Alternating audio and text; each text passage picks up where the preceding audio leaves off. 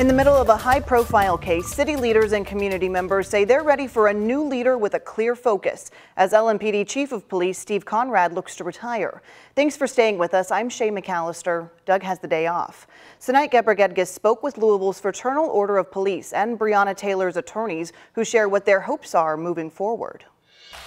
It is uh, a step in toward the right direction in terms of pursuit for um, justice for Breonna Taylor, as well as the city of Louisville. We feel this is something that, that's been needed. Lonita Baker is one of the attorneys representing Breonna Taylor's family.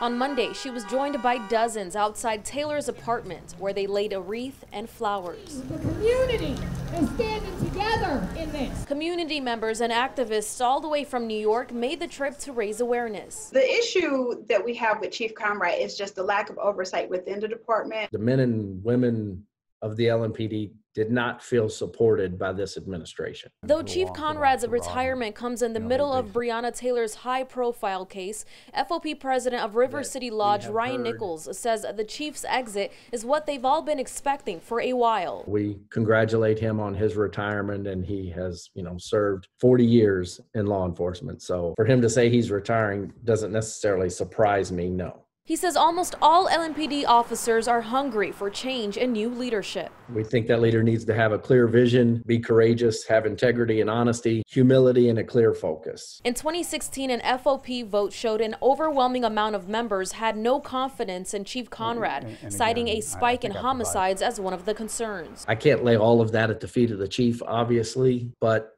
the chief of a department our size needs to be able to have a clear vision and develop ways to address those those crime spikes, whatever they may be. Senait Gebregiorgis, WHAS 11 News. In a statement released online today, the state FOP president says Mayor Fisher is responsible for threats and violence toward police. Berl Perdue says, quote, Louisville Metro police officers were undoubtedly at the correct address as shown on the warrant. The officers knocked and announced themselves for a period of time before forcing entry into the residence and being met with gunfire. The repeated knocking was confirmed by Kenneth Walker during an interview with investigators. Perdue goes on to say the false reports have further divided the community from police. Rumors and misnomers have led to death threats and to officers and to their families. The failure of Mayor Greg Fisher and LMPD Chief of Police Steve Conrad to stop the false narrative when they had the information to do so has exacerbated the problem. And you can read the full statement right now on WHAS11.com.